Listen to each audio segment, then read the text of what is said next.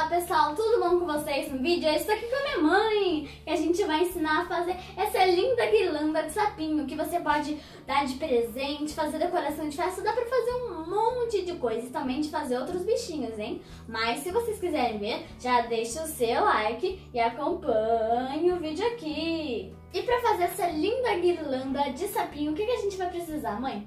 Pouquíssimas coisas. Tecidos coloridos, né?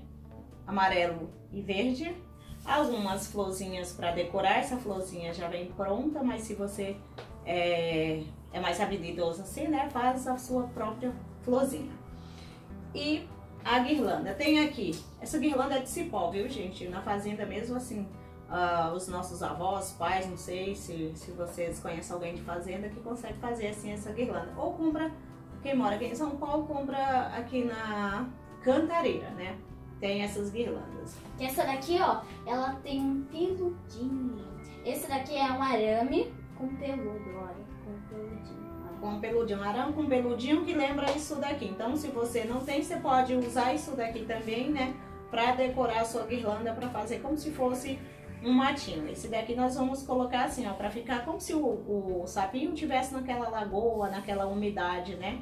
Às vezes naquela umidade nascem umas florzinhas, é bem bonitinho assim a, a, as coisas, a natureza, né? E também a cola quente, porque ele é coladinho, tá? O plumante para encher. Lápis, eu não costumo usar o lápis para riscar quando a gente vai fazer boneca, tá? Somente para riscar o molde que você vai usar o lápis. Quando você vai usar, é, vai fazer boneca, você vai usar o tecido mais claro, né? A roupinha, da boneca, você usa, usa o giz ou aquela caneta que sai com o calor do ferro com a temperatura, né? Do secador. Ou do ferro. Ou do ferro, né? É, o calor do ferro ou do secador. E aqui eu tenho o corpinho do sapinho. Para ele ficar com essa carinha aqui, é necessário que você faça isso no molde, tá? Você tira essa parte da cabecinha. Se você quiser adquirir esse molde, tá? Ele vai assim pra você. Então, você vai, ó, unir isso daqui, cortar no tecido verde e esse corpinho no, no tecido amarelo. amarelo. Que vai parecer uma jardineirinha, né? Uhum, exatamente. Aqui são os pezinhos dele e aqui são as mãozinhas. Você vai cortar duas vezes para cada um, costurar em toda a volta, como a gente já fez aqui, e vai desvirar e vai encher. Então, aqui eu já tenho, né? E as mãozinhas dele. Aqui eu tenho o corpinho dele, que eu já mostrei como você deve fazer no molde. E aqui eu tenho desse jeito aqui. Eu vou recortar e vou alinhavar para ficar mais fácil. Você vai colocar costura com costura aqui do molde. Deixa eu mostrar pra você aqui que fica melhor. Então, você tá vendo que isso daqui não vai encontrar, né? Desse jeito, eu preciso colocar direito com direito. O que eu tenho que fazer? Se eu colar, colocar assim também não vai funcionar. Então, eu marco meio do tecido verde e meio do tecido amarelo. Ponho direito com direito, seguro com alfinetes, aí eu venho ponta com ponta. Seguro também com alfinetes. Então, eu já risquei aqui o tecido, aí eu ponho um alfinete na marcação onde eu risquei, saindo com o alfinete do outro lado. Isso é para eu saber onde eu vou passar a costura. Se você quiser alinhavar, fica mais fácil, é que você vem com a agulha em cima dos riscos e vai alinhavando, tá vendo? Alinhavou, como eu fiz aqui com a linha rosa, você vai e vem com a costura definitiva aqui, a costura que vai segurar a cabecinha no corpinho dele. Em seguida, você vai fazer do outro lado o mesmo passo. Aí, novamente, costura com costura. Põe o alfinete sempre para ver se saiu no risco onde você riscou. Se saiu, você vai costurar em cima desse risco, tá? Feito isso, você vai desvirar. E ele vai ficar assim. Aí, qual é o próximo passo agora, gente? É só encher esse sapinho.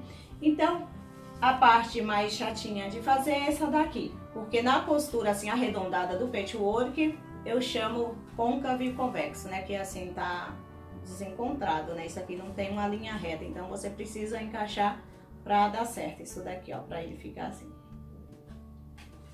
Se você quiser saber mais, é só nos seguir lá no Instagram, tá? Tem aqui embaixo o meu Instagram, tem o Instagram de Laura, tem site, tem loja virtual, tem loja física, tem YouTube para você aprender mais, para você é, até mesmo se tornar uma profissional da área da costura, né? Vamos encher o sapinho? Eu vou encher e já mostro ele cheinho para você, tá? Vou colocar uma miçanguinha de um olho bem arregalado nele, tá? Igual tá o outro. Vou colocar a linha na agulha, enquanto a Laura tá enchendo, eu vou colocar a linha na agulha, eu vou adiantar pra mostrar pra vocês, tá? Vou pegar as coisas e a Laura tá enchendo. Aí eu vou colocar aqui a linha verde na agulha, enquanto a Laura tá costurando, tá enchendo. Eu vou adiantando aqui as mãozinhas do, do sapinho. sapinho linha verde. Vou fazer um nó. Isso. Agora eu vou colocar um pouquinho aqui pra dentro, olha, dessa mãozinha dele. Essa hora eu preciso desse apoio aqui, eu gosto bastante dessa pinça aqui, olha, pra eu poder Assim tá bom, mãe? Eu mais um pouquinho. Tá bom. Senão ele vai ficar um sapão muito gordo, né? É, tem razão.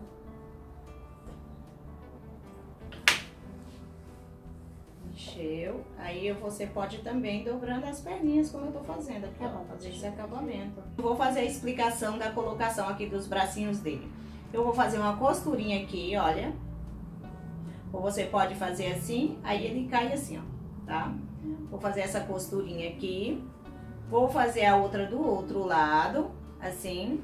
E as perninhas eu vou embutir aqui dentro. Qual é o próximo passo? Eu vou dobrar aqui essa barrinha. Dobrei. Aí eu vou franzir e vou embutir. Essa perninha não precisa, viu, Laura? Dobrar aqui, é só o tá. bracinho. E vou embutir e vou franzir aqui, ó, gente. Tá? Aí vai ficar assim a perninha dele. Então eu vou montar ele todinho aqui e já mostro pra vocês e explico novamente. Agora eu vou fazer o outro lado da perninha, já fiz aqui o bracinho, fechei, né, coloquei pra dentro o tecidinho, fechei e costurei ele aqui do ladinho, ó, do, do sapinho. Agora a perninha também é bem fácil, eu vou, tem a marca aqui onde eu fiz a margem de costura, eu dobro em cima desse risco e aí eu vou dar um, dei um nó na linha e vou fazer o ponto alinhavo. E depois quando você puxar na mãe, ele vai ficar nas ondinhas. Franzidinho. É bem franzidinho. Sim. E vou fazendo em toda a volta assim da barra da calcinha do saco. Vocês estão vendo que nem precisei fazer, né, um macacão pra ele a, o próprio corpinho dele você já transforma em uma roupinha. Agora, se quiser fazer todo verdinho, né, dependendo do tema, né, se você for fazer para uma festa, aí você vai fazer de acordo o que o seu cliente pedir, né? Ô mãe, e dá pra fazer sem esse cortinho aqui? Se for não, fazer todo verde? Não, senão ele não vai ficar com essa carinha aqui engraçada, ele vai ficar chapadão. Ah. Aqui, ó, franzi. Agora, o que é que eu vou fazer? Eu vou pegar a cola quente, a cola quente não é perigoso, tá? Você pode deixar seu filho, sua filha colocar aqui, ó, um pouco só de cola. E eu vou pegar essa perninha... E vai encaixar aqui dentro. Isso, ó. Eu vou colocar ela aqui dentro. Com a ajuda da tesoura ou do, do um ou palito, é um palito de sorvete, qualquer coisa. Você segura ele aqui dentro. Você também assim. pode usar palito de churrasco, só que é muito perigoso porque ele é pontudo. Isso. Agora o que é que eu vou fazer? Eu vou puxar aqui, ó, apertar essa roupinha dele. Tá vendo? E ele vai, olha que fofinho que ele ficou com os bracinhos pra cima. Isso. Ele senta. Agora vamos apertar aqui, apertei aqui a roupinha, ó, já tá prontinho. Aí eu vou fazer o ponto arremate. Vou arrematar, né, pra não escapar essa linha. Deixar um pouquinho pra dentro. E olha aqui embaixo, parece um coração, olha. Uhum, foi igualzinho um coraçãozinho mesmo. Vou cortar essa linha agora.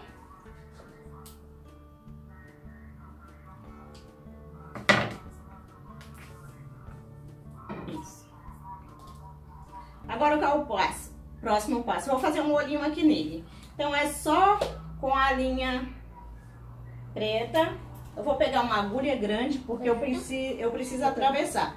Apesar que esse roxinho, aqui o olhinho dele é bem juntinho, a agulha pequena também dá, mas eu gosto de fazer com essa agulha grande, trabalhar com agulha grande para eu poder levar essa, é o final da linha para onde eu quiser. Aqui também eu faço ponto, mas eu não, um nó, faço um ponto, um ponto é ótimo. Vou fazer um nó, mas aqui eu não vou fazer nó. O que é que eu vou fazer? Por que, que eu gosto da agulha grande? Eu vou sair aqui na parte de trás, ó. E aí eu venho aqui pra frente. Esse lado aqui é o que tá mais bonitinho, né? Que é o lado que o bracinho tá pra frente. Então eu vou fazer o olhinho aqui. Eu não fiz nó pra essa linha, ó, atravessar. Ela sumir. Sumir. Senão vai ficar aquele hum, negócio estranho no sapinho, né? Vai ficar uma bolinha, não vai... Não vai ficar tão bonitinho. Aí eu vou amarrar. Isso. Vou fazer aqui, ó. Como se eu estivesse costurando. Prontinho. Amarrei. Agora eu vou fazer um nó francês, né? Vou passar três vezes e vou levar aqui dentro. Vou sair do outro lado. O olhinho dele vai ficar bem discretinho, tá, gente? Ó, só uma bolinha preta. Que fica mais delicadinho, né? Isso. Do que colocar uma bolinha. Mas quem quiser também pode colocar uma miçanguinha, né? Mas foi bem pequenininho. Aqui também. Três vezes, tá? Aperta a linha na ponta da agulha e ó, entra. Aí você pode sair onde você quiser, aqui na cabecinha dele, tá? Como a linha vem bem comprida, ó, é só um nadinha, tá, gente? Ó, só pra ficar marcado o olhinho dele. Aí eu vou sair com essa agulha, ó, bem lá atrás.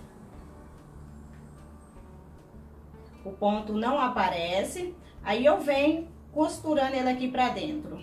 Fala, nossa, pra que isso tudo? Isso daqui é pra linha não escapar e o olhinho não ficar folgadinho com o tempo. A Laura tá com medo da água. Então, Uhum. é bem discreto. Agora, se você quiser colocar uma miçanguinha, eu até peguei a miçanga aqui pra colocar, mas achei que ela fica um pouco grande, essa miçanga aqui, ó. Eu é acho... um. Eu acho que ela vai ficar exagerada aqui no, no sapo, ó. Mas creio que não, viu? O sapo, não é? Acho que vai ficar bom. Mas se você quiser colocar no seu sapinho, Aí fica o seu critério. Cada um escolhe o que você quer fazer com o seu sapinho. isso. Agora vamos colar ele aqui na, na guirlanda. Essa guirlanda, às vezes, ela já vem com o lado certo para você encaixar, para amarrar, tá? Mas aí, se não tiver aquela cordinha para pendurar, para para pendurar, o que, que você vai fazer? Você vai escolher um lado assim, que tem uma abertura grande. Aí você pode passar. Eu fiz uma folhinha. isso daqui como se fosse um sumo, é sumo, né? Um, esse, essa plantinha. Quem sabe aí o nome da plantinha? Aí Comenta isso- aqui embaixo nos comentários, hein? aqui eu vou, olha, fazer um nozinho que é para eu poder pendurar ele depois. Depois isso aqui serve até de enfeite, né? Você pode fazer como se fosse um enfeite. Vamos fazer menor o preguinho para colocar no preguinho. Isso aqui vai no preguinho. Aí você pode fazer um lacinho, o que você quiser com isso daqui, ó.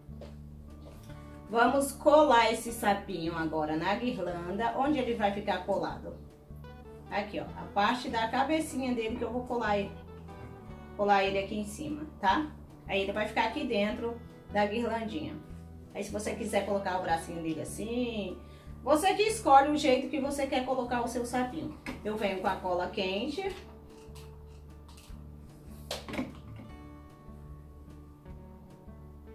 Eu vou colocar ele aqui. Vou dar um tempinho para secar. Enquanto seca, o que é que eu vou fazer? Eu vou colar umas folhinhas, umas florzinhas, umas florzinhas aqui. Uma amarelinha para combinar com ele aqui em cima, ó.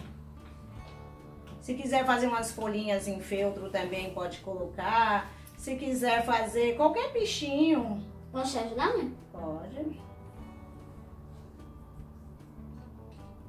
Onde vai ficar legalzinho colocar aqui, né? Aqui. Aqui também vai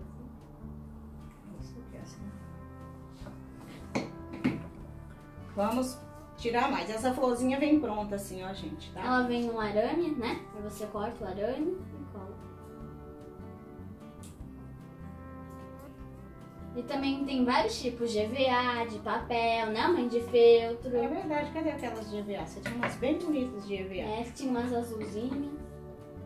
Ó, cola. Eu vou colocar aqui perto dele, ó. Fala, será que esse sapo é menino ou é menina pra estar enchendo essa guirlanda de flores? Aí eu poderia ter feito ele de roupinha rosa, né? Mas como eu gosto bastante do amarelo, acho que vai ficar com muita flor aqui. Acho que chega de flor, né? Se tivesse mais amarela, né? Senão não vai ficar uma guirlanda de sapo, vai ficar uma guirlanda de flores. Ou se você quiser fazer qualquer outro bichinho para colocar, o que o sapo Pode gosta fazer de uma comer. abelhinha O que, é que o sapo come? Ele come mosca, então você pode fazer umas mosquinhas e colocar É, aqui. Pode encher isso daqui do que você quiser. Então, gente, isso aqui é só uma ideia para você interagir com seu filho, sua filha, tá? Para você ganhar até um dinheirinho fazendo boneca de pano, ou fazendo bolsas, carteiras, o que você quiser. Então, a ideia é você interagir com seu filho e ganhar um dinheirinho. Se você gostou, Deixe o seu like, se inscreva nos nossos canais. Também tem a loja, a loja física, loja física da minha mãe, que é a Maria Ade na Ateliê. Também tem um site, né, mãe? Tem lindas bolsas em couro. E também tem os nossos Instagram, que o meu é Laura Mania Oficial e da minha mãe é Maria Ade na Ateliê. Então, gente, tem tudo isso. Inscrevam, curtam, é, compartilha, fala pros amigos, E ativa o façam e vendam, tá? Ativa os sininhos lá nas notificações. Pra você adquirir essa guirlanda, ou você pode entrar em contato conosco ou comprar o projetinho lá no Hotmart, tá bom? Um beijo e até lá! Até o próximo vídeo. Tchau!